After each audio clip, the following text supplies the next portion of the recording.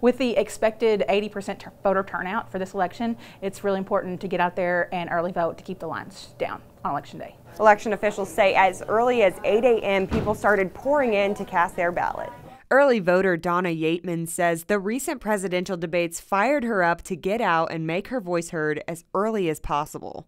This is historic, and so I'm really charged up. I mean, I'm going to go buy a sign, so I've never done that, ever, ever.